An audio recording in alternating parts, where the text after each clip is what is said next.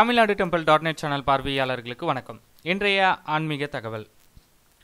முருகப்பெருமானின் முதல் படை வீடான திருப்பரங்குன்றத்தில் ஆண்டுதோறும் ஐப்பசி மாதம் கந்த சஷ்டி விழா என்பது வெகு விமர்சையாக நடைபெறும். ஏழு தினங்கள் இந்த திருவிழா கொண்டாடப்படுவது வழக்கம். ரெண்டாயிரத்தி இருபத்தி நான்காம் ஆண்டுக்கான கந்த சஷ்டி திருவிழா வரும் நவம்பர் இரண்டாம் தேதி காப்பு கட்டுதலுடன் தொடங்க உள்ளது. இந்த விழாவினை முன்னிட்டு அன்றைய தினம் அதிகாலையில் அணுக்கை பூஜை தொடங்கி யாகசாலை பூஜைகள் நடந்து உற்சவர் சன்னதியில் உற்சவர் சுப்பிரமணிய சுவாமி தெய்வானை சண்முகர் சன்னதியில் சண்முகர் வள்ளி தெய்வானை உற்சவ நம்பியாருக்கும் காப்பு கட்டும் வைபவம் நடைபெறும். இதனைத் தொடர்ந்து கோவிலில் தங்கி விரதம் இருக்கும் பக்த கோடிகளுக்கு காப்பு கட்டும் நிகழ்வு நடந்தேறும்.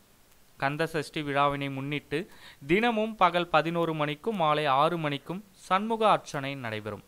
சண்முகர் தினமும் வெள்ளை அலங்காரம் பச்சை அலங்காரம் மயில் மீது அமர்ந்த அலங்காரம் உள்ளிட்ட பல்வேறு சிறப்பு அலங்காரங்களில் எழுந்தருளி பக்தர்களுக்கு அருள்பாலிக்க உள்ளார்.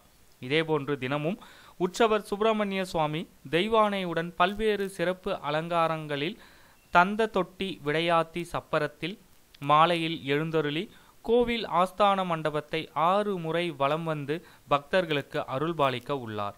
கந்த சஷ்டி விழாவின் முக்கிய நிகழ்வான வேல் வாங்குதல் வைபவம் நவம்பர் ஆறாம் தேதியும் சிகர நிகழ்ச்சியான ஏழாம் தேதி சொக்கநாதர் கோவில் வாசல் முன்பு சூர சம்ஹார நிகழ்வும் எட்டாம் தேதி காலை தேரோட்டமும் அன்று மாலை சுவாமிக்கு பாவாடை தரிசனம் மற்றும் மூலவர் தங்க கவச அலங்காரத்திலும் பக்தர்களுக்கு அருள் அளிப்பார். இந்த ஆன்மீக தகவலை உங்களுடைய நண்பர்களுக்கும் தெரியப்படுத்துங்க. நன்றி வணக்கம்.